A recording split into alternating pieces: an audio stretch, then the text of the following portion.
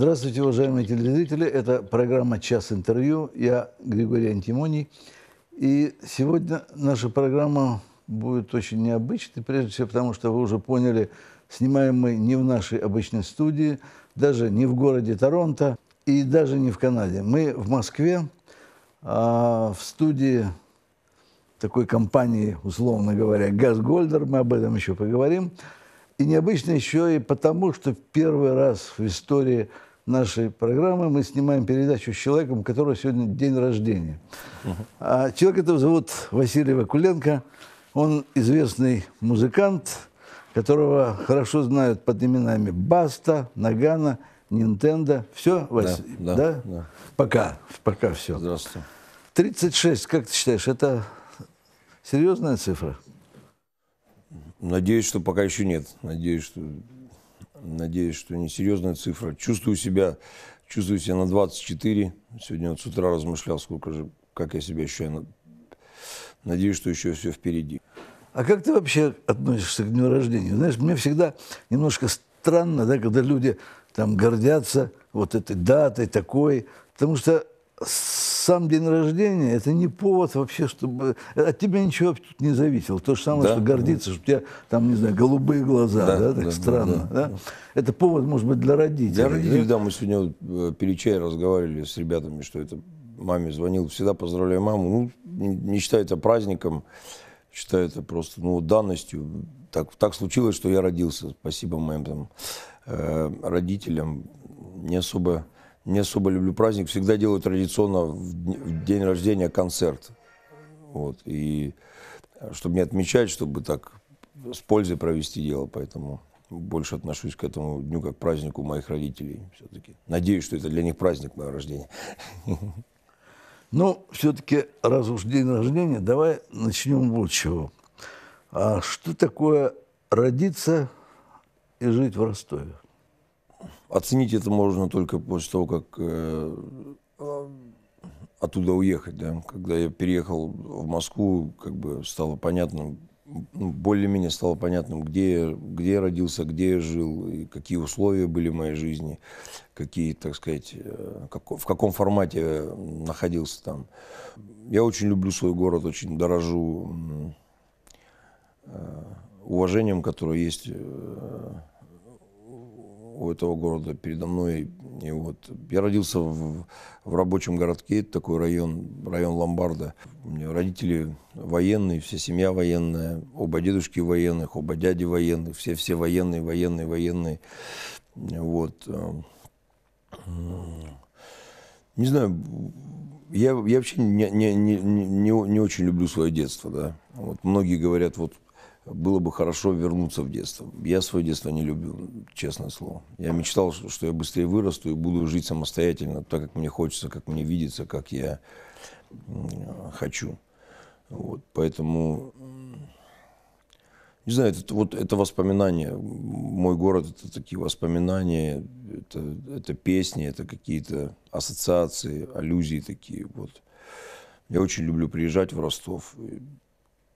Вот последний был концерт, я выступал на День города, и там было 108 тысяч, 108 тысяч человек на площади, да, которые пришли, которые пели. Ну, это было для меня безумно важно и трогательно до слез. Да. Такая вот детская мечта э, реализации, э, признания. То есть мне было важно, что это вот в городе, вот в моем происходило. То есть связь у меня с городом очень серьезная. Очень люблю свой город. Я часто со своими гостями говорю о детстве. И, как правило, все говорят, у меня было счастливое детство. Ну, вроде как счастливое детство, все там говорить не о чем. Да, папа, мама, там, дом.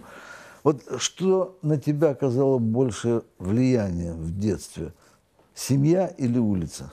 У меня такие сложные отношения были э, в семье. У меня вот отца я своего первый раз увидел, когда мне было 7 лет. вот, э, воспитывали меня э, бабушка с дедушкой. Им за это безумно благодарен, за все, что они для меня сделали. Вот. Наверное, все вместе. Это был, вот когда я первый раз, так скажем, попал на улицу, э, это был 95-й год, это такое смутное время вообще тогда в стране происходило. У меня мама экономист с высшим образованием, она а, работала на рынке, продавала йогурты, да, чтобы как-то прокормить вот семью, да. И папа моего сбила машина, он чуть не умер. Ну, то есть такие тяжелые моменты, вот, ну, судьба, вот, да, я вот, я как бы э, всю свою семью рассматриваю через судьбу своей матери, да, потому что какой сложилась ее жизнь, это вот как судьба моей страны, можно сказать, да. То есть она 18 лет вышла замуж, там, э, болезни, то есть она родила нас с братом, тяжело болела, потом э, эти все развалы страны по причине того, что отец был там офицером, да, и а, служил в Белоруссии. И потом, когда началась дележка, вот этот вот такой момент, ну, короче, было тяжело. И она с таким достоинством, с таким оптимизмом, с такой улыбкой проживала все эти сложные моменты. Естественно, я подкидывал там много, очень много неприятностей, да, ей. Вот. Не знаю, вот и семья, и улица, все на меня повлияло. Вот все, что во мне есть хорошее, это, пожалуй, моя семья, да. Все, что во мне есть такого экстремального, это улица. Хотя улица, на улице у меня э, появились хорошие друзья, которым я очень благодарен за поддержку. То есть я, когда начал там образно говоря, шататься на улицах, как говорил мой дедушка. Я встречал очень много достойных людей, которые не ставили целью там, погубить меня, втянуть в какое-то безумие, а, а делились каким-то жизненным опытом. И, то есть в целом, ну я не хочу, я, если бы мне сказали вернуть, вернуть, вернуться в детство и прожить еще раз, я бы ну, ни за что не захотел. Потому что у меня всегда внутри было понимание, чего, ну, чего я хочу. Ну, как вот, я не знаю, вот там с 7-8 лет я понимал, что я хочу делать то, что я считаю правильным или интересным для себя. Вот. А кем ты хотел в детстве стать? Ну, я хотел быть музыкантом. Я шести лет занимался музыкой. Шести лет. Вот у меня дома стояла фортепиано, и бабуля привела учительницу, которая сказала, что будет заниматься с тобой. Я занимался, потом занимался аккордеоном. И мне всегда хотелось заниматься музыкой. Я больше ничего не умею. И ни о чем даже, у меня то есть не было сомнений, что я буду заниматься музыкой. То есть там ни летчиком, ни пожарником? Нет, никогда не хотел, ни военным, ни, ну, то есть носить погоны я не хотел, потому что я, ну, видел, что такое армия. То есть я жил в Беларуси, я как сейчас помню, вот я рассказывал много раз эту историю, что я помню Новый год, 90-й, э, с 89 на 90 и я на Новый год, мама сделала э, тушеную картошку с мясом. Я ее ем, и, и у меня мысль в голове, что как же бомба, ну как же здорово. Ну что, это круто. То есть там было, ну, такое время было. Я не то, что там жаловался или что-то. Ну, то есть я помню свою, э, свои мысли о том, что вот это круто. Вот. А музыка мне всегда, мне всегда нравится, мне всегда нравилось, мне всегда нравится смотреть на людей, которые выступают. То есть я очень стеснялся в музыкальной школе, экзамены, вот это, концерты. Мне всегда восхищали люди, которые умели, так скажем, держать себя на сцене, держать зал, там, общаться с людьми, потому что для меня это были трудные такие, не, трудно мне это давалось все. А на кого ты смотрел в те годы? Ну, я имею в виду на сцене или по телевизору. Я не знаю, вот у меня сложилось так, что я, я избежал там всяких модных течений, потому что занимался музыкой очень много, и там в училище поступать готовился. Э, ну, вот от той музыки, которую слушали у меня дома, ну, мой отец такой меломан, можно сказать, да, он слушал очень много э, рок-музыки, он э, слушал Высоцкий, Висбор, Машина времени, Битлз, естественно, там, Назарет, Квин, Purple. Ну, то есть я слушал только вот такую музыку за что благодарен на самом деле. Хотя, ну, так с иронией относился немного к рок-музыке, да, но потом, ну, не вызывала у меня такая вот, вот музыка особого восторга. Но я благодарен сейчас, у меня как бы в воспоминаниях есть неплохой такой бэкграунд, да, который я поднимаю в нужный момент и вспоминаю нужные мне, так сказать, произведения для взаимствования их по-хорошему. А вот говоря там о детстве, юности, ростовске, я так пытаюсь представить, что такое был Ростов в 90-е годы, да, а, ну, зная, что такое Москва была да. в это время. А, ты с криминалом соприкасался? Ну, ну да, конечно, соприкасался. В том смысле, что это было, это, это уклад жизни был такой, да. Это было не только в Ростове, это было везде. Это, как вы говорите, это было и в Москве, это было в каждом городе, да? Да, время такое Да, было. переломный момент, когда там э, экономические взаимоотношения складывались по-особому, да, что нужно было получать свое, брать свое, делить, э, забирать. Ну, соприкасался, конечно, и, к сожалению, многих очень хороших, достойных людей. В живых нету спортсменов, которые пришли вот э, в структуру, так скажем. Ну, как-то меня это, не знаю, миновало. Мне, ну, я знал, знал, как это работает, как, как, как нужно жить, знал, как, и знаю до сих пор, что такое там вопрос чести, слова, поступка, достоинства. Вот. Я не делил никогда людей на там, криминал, не криминал. Я людей, делил до сих пор, делюсь людей на людей достойных, и которые поступают э, в разрез с моими жизненными принципами.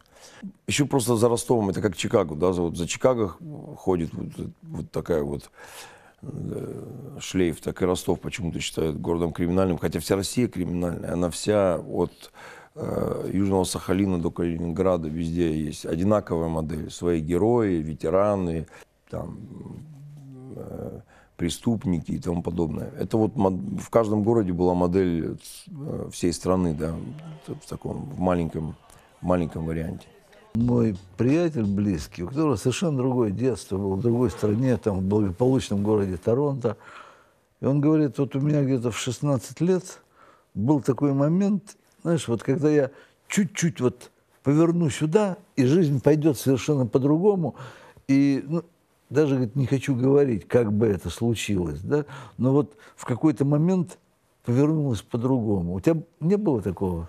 У меня, вы знаете, у меня не было такого осознанного выбора. Я как бы, э, вот благодаря бабуле с дедулей, да, я как бы, вот они в меня вложили человеческое что-то. Вот, вот по- по-настоящему вот такое понимание, что такое добро и сострадание. Вот просто вот ну, человеческая какая-то какие-то такие принципы. Я вот не знаю, откуда во мне, правда, это. Потому что выбор у меня, как вы говорите, был э, разный и очень большой. Мне кажется, что здесь какая-то магия существует, да. Вот человек может... Вот мой старший брат, мы жили в одинаковых условиях. Он закончил э, колледж сначала с красным дипломом, потом закончил э, э, РИШТ, это Ростовский институт желе- желе- по железной дороге. Он инженер серьезный, с красным дипломом. Вот как-то вот так, так сложилось, особо ничего не выбирал, просто вот по чувству шел, да, чувствовал, как, куда мне двигаться. То есть это, так как в песне было, там, не стал таким, как старший брат, это все правда? Да, да, да, да. Ну, этой песни я ее написал, когда мне 20 лет было, то есть уже 16 лет назад, да, и так.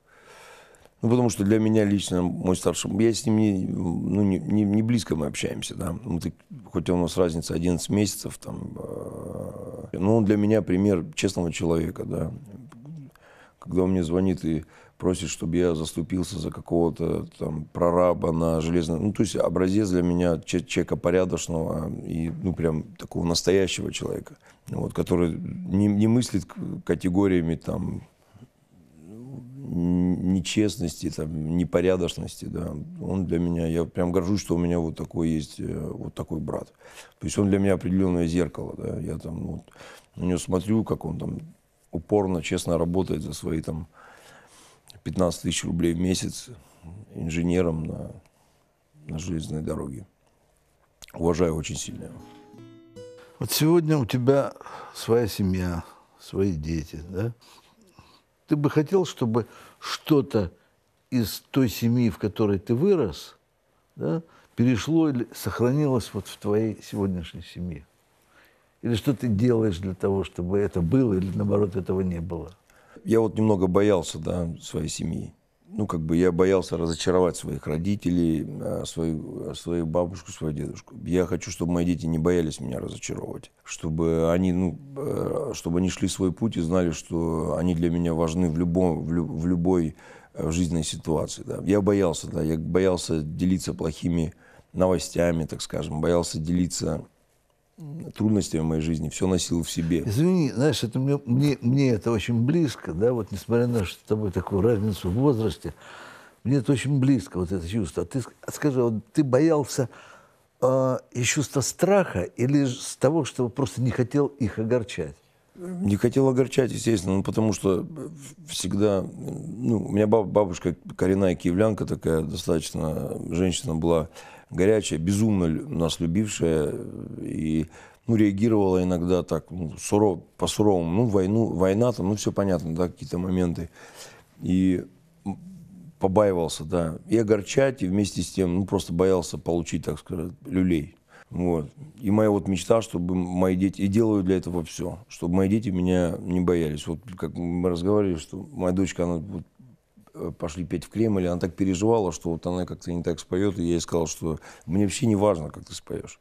Если ты хочешь, тебе нравится, сделай, я всегда, я ну, поддержу тебя. Это ну, для меня, для меня важно, чтобы меня, меня мои дети не боялись, и через меня не боялись вообще, ну, по причине того, что они девочки, чтобы они не боялись мужчин, да, чтобы никто, ну, не вызывал у них такого там страха, или, потому что девочки все равно смотрят на мир через семью, да, через, того, через ту ситуацию, какая складывается в семье. Я благодарен Богу и за, за, за то, какая у меня семья, какая жена замечательная, как она сильно любит моих детей, как, э, ну, вообще, как, какой дом у нас, да. То есть у них есть и все, и любовь, и внимание. Вот единственное то, что я хочу, да. Потому что я помню, как это мне мешало общаться с родителями, страх, э, разочаровать. Именно вот бабушка с дедушкой, потому что с мамой у меня ну, совсем другие отношения, и она меня поддерживала безумно. Единственный человек в жизни, который мне никогда не говорил, что мне нужно делать. Вот раз ты заговорил про отношения в семье, ты в одном интервью сказал очень удивившую меня фразу. Ну, говоря об отношениях, вот там, не только там твоих там с Леной, да, а вообще об отношениях мужчины и женщины вот, в браке, в семье. Ты сказал, что любовь – это уважение. Сто процентов. Объясни. Ну, э, ты сказал в том смысле, что э, так скажем, что уважение это, это вер, высшая стадия любви, да, вот. Потому что э, в, в семейной жизни первая влюбленность и первая страсть, так скажем, она превращается в, что-то другое. У кого-то она превращается в злость, э, в горечь, э, в тяжесть вот этого быта, каждодневных, так, так скажем, встреч, а у кого-то наполняется уважением у нас очень сложные отношения были даже, ну, такие совершенно разных два человека, да. Да, это понятно. Из разных, так сказать, э, миров, из разных там социальных э, этажей, так скажем. Вот. Ну, вот, Может быть, даже никогда не пересекающихся. Да. да. Ну вот удивительно, что когда мы с ним познакомились, мы жили э, через два дома друг от друга в Москве. То есть она жила на Аптекарском, а я на Гороховском. Так, ну так сложилось. Вот. И ну, вообще разные люди. И как-то так сложилось, вот, ну, вот встречное было, да, желание как-то вот, ну, изменить свою жизнь, изменить себя. И вот, вот не, необъяснимая связь, вот необъяснимая связь, которую я не могу найти в ней логики никакой. Вообще ни в чем мы с ней не похожи. Ты до сих пор это анализируешь? Конечно, да? Конечно, конечно. Я ее безумно, она, она во-первых, ее очень ценю за прямолинейность и категоричность. То есть а, она никогда не будет э, лукавить, она никогда не будет кривить. Это иногда бывает больно мне, но говорить честно, прямо свое видение, свое э, мнение. Вот, допустим, как я говорю, что она представитель определенного сегмента моих слушателей, и ставлю ей песни. И вот она как бы слушает и там говорит, вот это, вот это понравилось, вот это там сложновато для меня, вот это красиво, а это вообще никак. Ну, для меня это, конечно, хочется, чтобы женщине, которую ты любишь, все нравилось. Ну, вот как бы... То есть уважение это сам... Ну, вот я понимаю, что это важно. Потому что это труд. Э, э, жить в семье – это труд. Двухсторонний, тяжелый, иногда каторжный э, труд. Я помню, когда мы венчались в храме, и, ну, венчание прошло, и священник ну, подошел, говорит, я вам хочу сказать, дорогие мои, ну, мы такие веселые, улыбчивые, что Жизнь – это страдание. Длинный путь страданий. И если за всю свою жизнь вы будете хотя бы 15% счастливы, значит, ваша жизнь удалась. И пошел. И мы такие...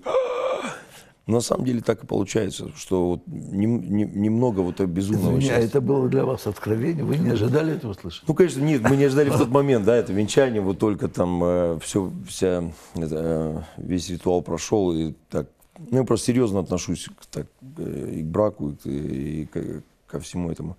И, ну, и на самом деле он был прав. Он на самом деле был прав, что это правда, каждодневный труд, уступков, э, компромиссов, прогибания лично себя, своего эго. Это вот для нас с ней это просто, ну, по причине того, что характер у меня, как в том фильме, э, скверный, да, э, со мной очень тяжело. И вот она прям, так скажем, мы с ней пара, да, хотя вообще не пара. Извини за такой вопрос, Вася, а ты однолюб? Я однолюб, я, я безумно однолюб.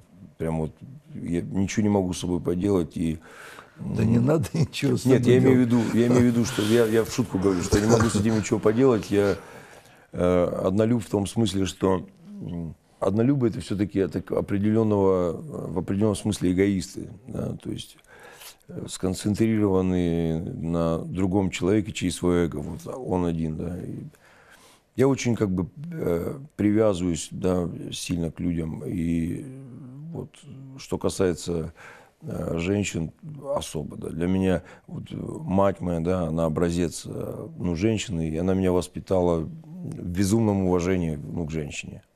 Поэтому люблю писать песни про любовь. И жена мне говорит, ты про кого пишешь вот, постоянно? Там, вот. Я, я, я просто вот э, любовь и влюбленность, все, что связано с любовью, для меня такой ключ определенный, да, формат, через который я там, ну, общаюсь с людьми. Э, на своих, в своей музыке, да, потому что мне очень нравится фантазировать, придумывать, пытаться прожить э, какие-то ситуации э, там, в любви у других людей.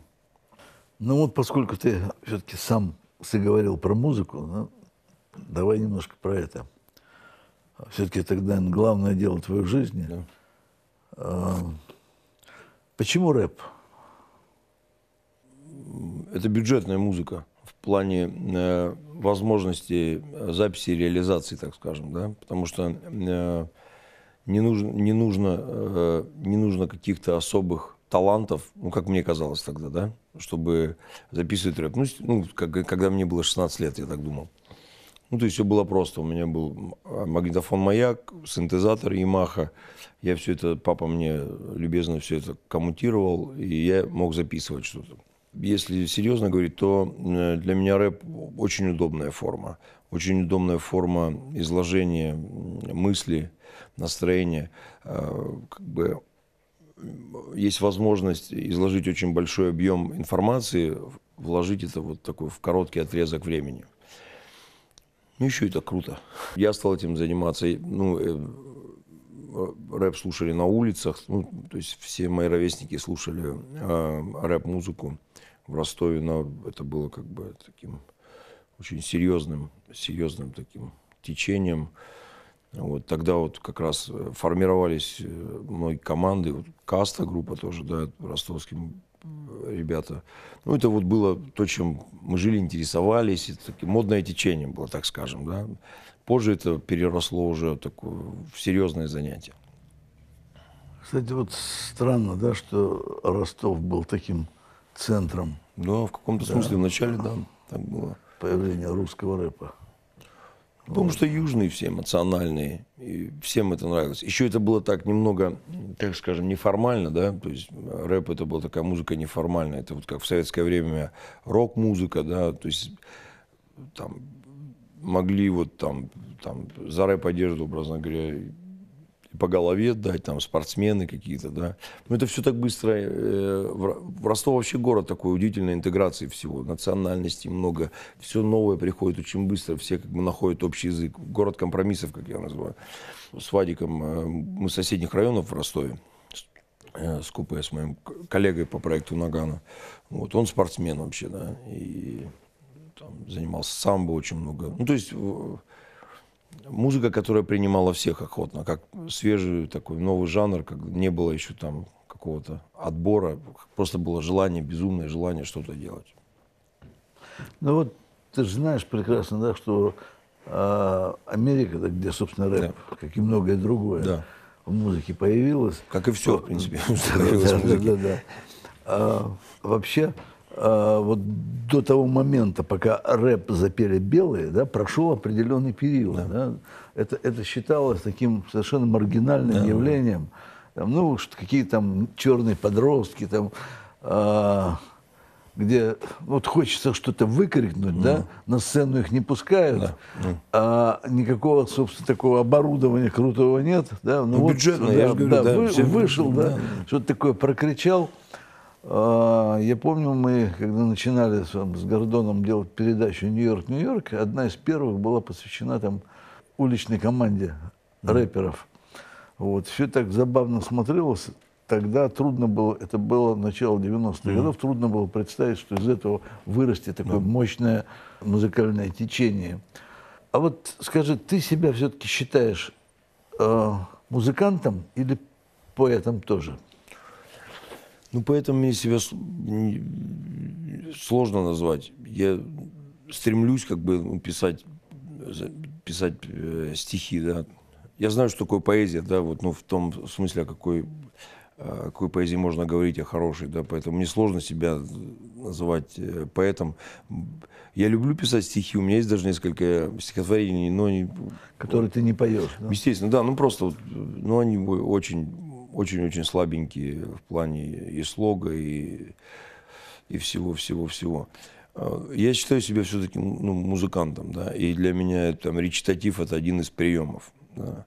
Я э, считаю себя рэпером в том смысле, что рэп для меня это ну, такой удобный язык, да, вот.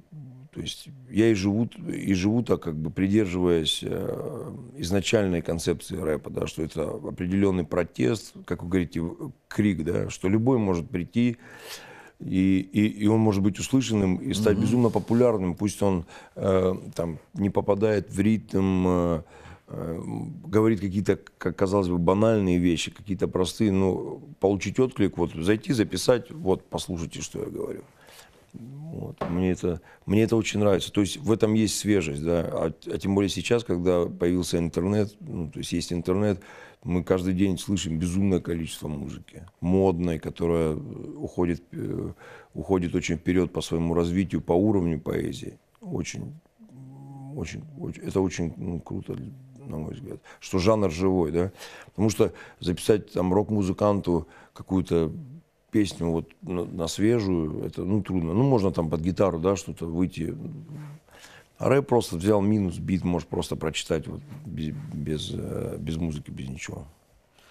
А вот э, что такое русский рэп? Это как есть ру- такое Есть, несомненно. явление, да? Э, Как и русский рок. Ну, ты знаешь, вот э, мы много раз на эту тему говорили э, с Сашей Градским, да, и вот даже последний раз он был в моей программе, там, это уже, так сказать, вне там, наших обычных там, с ним на эту тему, когда, когда-то многолетних разговоров, он уверен, что понятия русского рока нет. Это выдуманное, это искусственно выдуманное понятие. Нет, потому что нет среды, где это естественно родилось. И нет, нет ничего составляющего в общем, того, что а, вот, допустим, в Штатах да, включает в себя, ну, начиная даже от того, что нет адекватной музыкальной критики, нет Да. людей, разбирающихся в этом. Так он Но считает. это и есть условия русского рока. Это вот так звучащие, э, иногда плохо сыгранные, плохо спетые. Это и есть русский рок. Вот ты повторил почти, почти то, что... что- А чем отличие рэпа в данном случае? Тем в том же самом. Там по, так сказать, по уровню качества звука, по... Хотя на самом деле сейчас, ну, чтобы вы понимали, э, большое количество русских битмейкеров ездят в Америку и делают э, музыку для американцев. То есть битмейкеры наши, молодые ребята. Вот мы с одним из них работаем. Э, Я, я, я даже сторонник не то, что русского рока или русского рэпа. Это э, ро- рок на русском языке и рэп на русском языке. Вот. Что значит, ну, Александр Борисович просто сли- слишком ортодоксально относится к рок-музыке. Ну, он категоричен бывает. да, да, да. да. И, э, это и есть та среда, то есть э, отсутствие среды, это и есть условия, да, это как появление бактерий там где-нибудь в, в- невозможных условиях. По-моему, мне кажется, что появление э, рока в Советском Союзе это, ну, это гениально. Ну, как, какого бы то ни было, как смысла, как пути, да, как движения, потому что играть в Советском, в Советском Союзе русский рок. Я помню, как мне папа рассказал, как он ходил на концерт «Машины времени», да. Ну, то есть это в Ростове, да. Ну, то есть это было целое событие, это было целый какой-то вот, как болеть за «Спартак», да, образно говоря. То есть это была какая-то форма... Да, боль, больше того, я тебе скажу, пойти на, на концерт там, «Машины времени» это было вообще как политический вызов. Ну, нет, так я же имею какого-то рода, то есть, ну, свой, свой протест. Наоборот, то, что у нас появился рок, это ничего удивительного. Ничего удивительного совершенно. Ну да, то, что мы слышали, э, как э, они играют на гитарах и брали, ну да. А им зато нравится наш балет, наша классическая музыка. Это мир вообще состоит из, из правильных взаимствований, да, из, из цитат э, адекватных. Если отделяться и говорить, что вот американский рок это рок, а все, что остальное это не рок. Концепция рока умирает тогда сразу. Если мы ограничиваем рок континентом, Э, языком, цветом кожи, вся идея рок-н-ролла, она умирает сразу. Это, у этого нет ни пространства, ни Это вот появляется, оно есть. Я беру гитару и говорю там, прошу прощения, там, жизнь хуйня, да?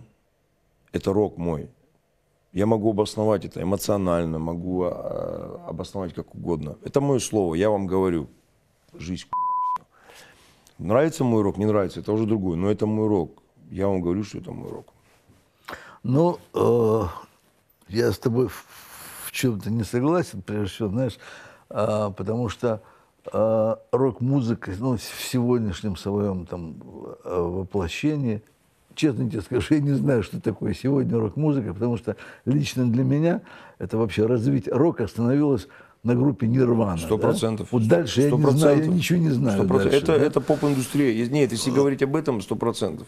Просто здесь важный момент, что рок – это не музыка. Это вот, это, это, прав, это банально, но это состояние души. Вот и все. Тогда рэп – это еще большим в, в большем смысле состояние души 100%. или, или да, образ 100%. жизни. Потому что, э, особенно рэп на русском языке или там русский рэп, это музыка интуиции.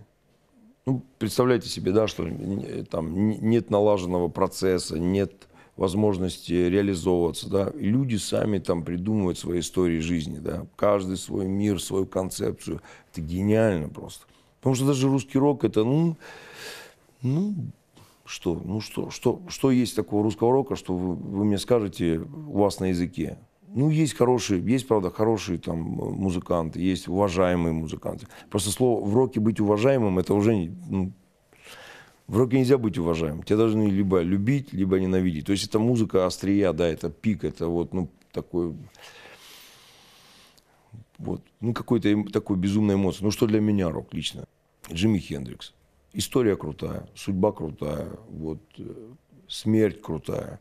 Э, ну, это вот это, это и есть рок пришел, ушел, так скажем, оставил там на, на долгие, на долгие после себя. Также там, как о Нирване Курт Кобейн.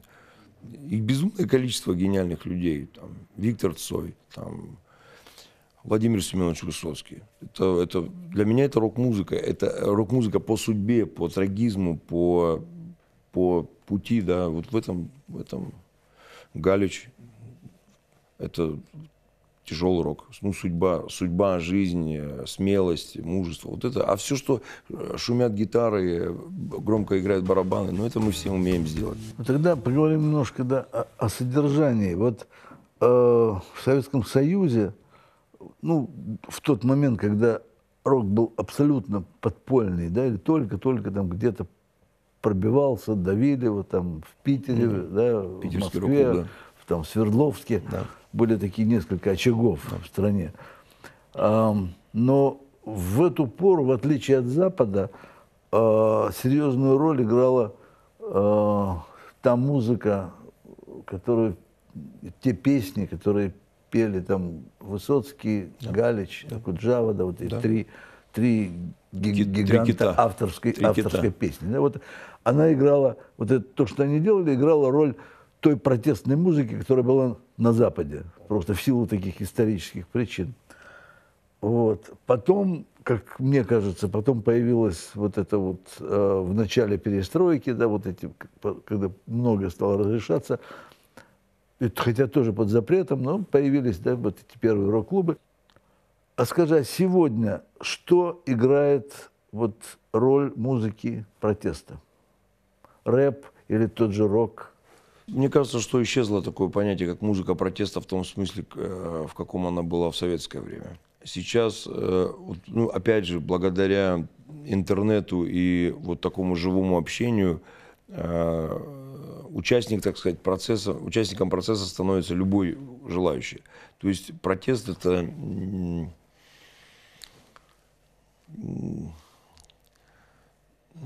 это заявка о себе именно вот э, в сети, да. То есть музыки протеста, я, я не знаю, что такое музыка протеста. Вот ее, ее я, я ну, не чувствую ее. Вот чтобы было такое, что такое, что прямолинейно, так э, по-настоящему дерзко, что-то, чтобы что-то говорилось, такой музыки не существует сейчас. Ну, протест тоже может быть разный. Знаешь, вот там один может протестовать. Вот у меня бабок на дозу нету, да? Вот да, он вышел там и закричал про это, да? Ну, в этом есть а, тоже да, большая, да, а, большая, так сказать, политическая идея. А, а, а, а другому не нравится, скажем, то, что происходит там между Россией и Украиной, да? да? Ну, это на самом разные деле, уровни протеста. Это это, это не разные уровни. Я имею в виду, что музыка сама по себе, она перестала нести в себе протест. Ну вот как-то так вот получилось почему-то. А почему? Все переместилось. Ну вот, видимо, время такое. Все переместилось в интернет, э, форумы, видеообращения короткие. Вот другой формат протеста. То есть музыка перестала... Музыка может быть сопровождением какого-то протеста, но быть прям вот голосом, голосом поколением, голосом там, протеста, это сейчас ну, невозможно. Это, это, это естественный процесс, как в Америке. Да? Вот кто сейчас в Америке там, э, образно, голос, голос, голос протеста. Ну, вот были беспорядки черных, э, в черных кварталах. Кендрик Ламар там представлял, так сказать, поэтическую составляющую этого протеста. Но он тоже не был лидером, он просто был таким э, музыкальным, хорошим, достойным музыкальным сопровождением. То есть сейчас вот мне кажется, что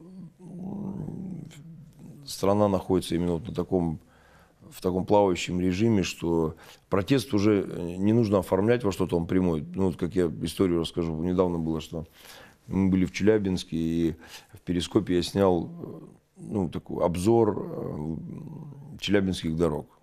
Ну, это просто ад. Да. На него отреагировал мэр города.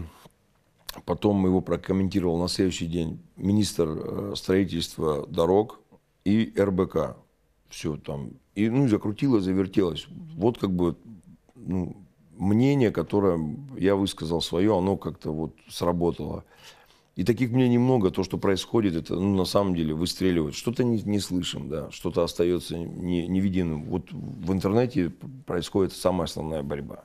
То есть вот эта вся, сказать, эта вся жизнь переместилась да, туда, да? да?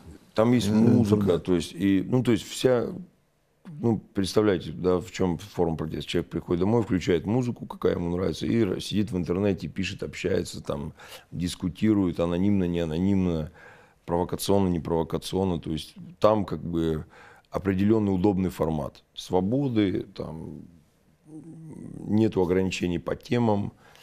То есть вот такое, такое новое общение, пока, но, но, новая платформа для общения нового поколения, да.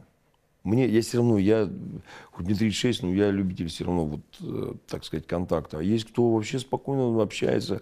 Вот если мы работаем по музыке, мы и не видимся вообще. То есть мы отправляем бит, нам присылают бит. Ну, в этом тоже есть свой фан определенный. Ну. Да, но это какая-то совсем другая жизнь. Да. Кто ведет войны, кто посылает воинов Победа освещает пролитой вражеской кровью. Идут отряды, солдаты латают раны.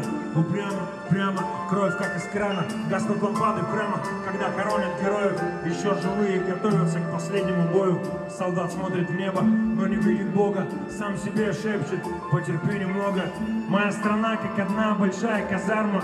Видимо это наша карма Че Гевара войны ислама, зеленое знамя. Нашли войну где-то на страницах Корана. Денежные знаки в перемешку с проповедью. Святость заляпана невинной кровью. И вожди точат ножи, запускают дезу. Власть в руках опричников, головорезов. Жизнь, смерть по решению императора. Несчастная Фемида, да ты давно отравлена. Переплавлено монеты и роздано Признание закона из нас выбито розгами Мольбами слезными оглушаем Всевышнего Ну почему же нас не слышишь ты? Видишь ты, реки крови выходят из берегов. Мы теряем отцов, мы меняем богов. Я сын войны, всегда готов к схватке. Когда зацветет маг, я оденусь в хаки. Ненависть, баки, соляру в костры. Брат, видишь кровь из ушей, слышишь текста стану листы В землю кресты, на погоны звезды. Весной героев, льют слезы березы Расплетают косы печальные невесты. Источают мира священные фрески Я вспоминаю, а, когда я первый раз, первый раз тебя увидел. Это было, наверное, уже лет 12 Я назад, помню. да? А, В старом Да, на втором газгольдере, этаже. Да, я что-то такое, какую-то китайскую там ел пищу. И какой-то парень, в общем, что-то там такое наигрывал. Я даже помню, что это было. Это была песня «Война». Да, я репетировал, вы сидели вот Да, в Вашингтоне, я помню. Я не знал, кто вы. И, думал, что и я, человек. и я потом, я так стал сначала прислушиваться, думаю, слушай, как это интересно. Потом стал спрашивать, кто же это такой. Да, вот тогда я первый раз э, услышал и, можно так сказать, запал на это, да, А, еще не слышав ни одной песни. А, скажи, пожалуйста, вот ты тогдашний, да, 12 лет назад, и сегодняшний, что в тебе поменялось? Романтизм ушел в музыке в каком-то смысле. То есть, В музыке или, или отношении к жизни? Нет, в, музыке нет. В рома- э, хочется так э, поджиматься, да, немного. Больше конкретики и больше... Ну, то есть, вот песня «Война», да, которую, о которой мы говорим, да, я ну, таких больше песен не напишу, потому что, ну, она вот такая вот в своем роде. И многих песен не напишу. Сейчас вот по суше стал, что ли, да, так, по, Ты знаешь, я- почерствее. Вася, я вот думал, что если бы эта песня прозвучала бы, не знаю, война прозвучала бы там в 14 или в 15 году, все бы однозначно поняли, про что она, да, что это бы вот, да, вот трагедия, да, Россия-Украина, вот про что эта песня. Ты согласен с Да, этим? да. Ну, то есть сейчас таких, таких песен уже не, не смогу, не, не- смогу сделать. Ну, всему свое время, видимо, ну, не знаю. Я стал послушай, поциничнее, наверное, да. В плане поциничнее в отношении себя. да. То есть я э, альбом этот делал и там, э, подоставал старых песен, и одну старую вставил. Ну, было неловко, да. То есть старая песня, ну, там немного такие обороты не очень, рифма слабенькая. И, и себя поймал на том, что ну, я охренел уже. Ну, то есть в том смысле, что ну, странная какая-то ситуация, да, что я сам себя начинаю истязать за то, что я делал давно, и насильно как бы эту песню вставил. Как, как неудивительно, э, или как в чем удивление, что там на iTunes эта песня понравилась всем. То есть то, о чем я переживал, что там какой-то уровень поэзии не такой, или там не поэзии моих там вот размышлений. Ну, стал вот, ну, прям вот чувствую себя немного так по, посуровее. Раньше в- легко писал, садился и бах там, и Скажи, а это, это связано с тем, что ты стал известным, Конечно. узнаваемым, Давит, популярным? конечно. Да, это давит? Да, это, конечно, ну, в том смысле, что я стараюсь от этого отстраниться, но понимаю, что там люди будут слушать, то есть мои там люди, которые привыкли к определенному формату, хотя каждый альбом я делаю совершенно по-другому, то есть люди, люди всегда, получая пластинку на руки, не знают, что там будет, там, песня на китайском или э, игра бубенцов, там, образно говоря. Это Слушай, ну вот то, что ты сейчас сказал, меня очень, очень, очень удивило, хотя, хотя это понятно, наверное. То есть фактически ты сейчас стал менее свободен, чем был, чем был тогда, потому что ты в какой-то степени зависишь от того, понравится ли это тем, для кого ты пишешь. Конечно, ну, мне так, мне так кажется, да. То есть мне так кажется в моей голове, что вот там, вот я размышляю о людях. Но я все равно делаю, естественно, делаю по-другому. Совершенно делаю, иду, иду в разрез с тем желанием. То есть Там вот последний альбом, который выпускали с, э, с Сашей Смоки Мо, на альбоме была просто картина Эрика Булатова, ни названия вообще ничего. То есть, ко мне говорили, да это же безумие, ты, это же люди не смогут даже прочитать понять. Ну, то есть хотелось рискнуть, попробовать, и мы это сделали, и альбом ну, приняли, и люди как бы, то есть люди воспитаны нашими, так сказать, сумасшедшими экспериментами, они готовы к этому. И я говорю больше о внутренних каких-то, да, что я переживаю, там, поймут, не поймут. Ну, это такая, как, как связь. Э. Но раньше ты об этом не думал, да, ты просто писал. Ну, потому что раньше не было людей, кто-то ну, слушал так много, да, потом я писал просто легко и, и не задумываясь. Вообще, ну, то есть в этом есть. Ну, в этом, возможно, как я называю, что весь путь музыканта – это такая э, большая терапия длительная, да, где я проживаю разные этапы жизни. Там, созависимости к другому мнению, к зависимости от другого мнения, там, личного какого-то проявления личных каких-то качеств характера. Ну, то есть это безумно тяжелый путь. Ну, я вот на самом деле клянусь, это кажется, что это все так просто написал э, или написал. В голове несколько армагеддонов проживаешь, пока все это выходит. Я понимаю, что это, наверное, как бы, может быть, очень сложный процесс, да, и, и, и вот, вот эта вот зависимость, да, вроде зависимость не от того, не от желания там угодить какому-то высокому начальству, да. Это забота вот. о людях, которые меня а, слушают. А, а вот, да, но все равно это не свобода, понимаешь? А все, ну, а все не свобода. Ну, это, это, я, может, не так выразиться, это не в том смысле ну, зависимость, это те переживания, о которых я говорю. То есть я их наступаю все равно на них. То есть кажется, вот это поймут, вот это не поймут. Э, все равно я сделаю так, как считаю нужным, по-любому, по-другому. Вот там, с Женей мы, допустим, да, очень, ну, много, много дискутируем по поводу там, определенных фраз, оборотов. Э, в каких-то моментах я ну, иду с пониманием навстречу меня, а какие-то вот принципиально понимаю, что вот, ну, оно вот так круто звучит, правда. Последний у нас был песня «Фонари» на альбоме, там была такая фраза э, э, «А теперь смотри, как зал искрит, он как отражение ночного неба, только вместо звезд фонари». Ну, то есть фраза нормальная, ему не понравилась интонация, как я сказал, слово фонари. Она меня, а меня это слово просто ну, разрывало. Как вот оно звучало вот так, вот по-наивному, ну как-то. То есть я прям в дискуссии отстоял, так скажем, свою точку зрения. То есть я какие-то вещи могу менять, применять, а какие-то вот не могу, если вот чувствую, что это прям меня уничтожает, прям не, в жизни никогда не сделаю. А вот если говорить о твоей аудитории, возрастной диапазон это какой? От 6 до 70.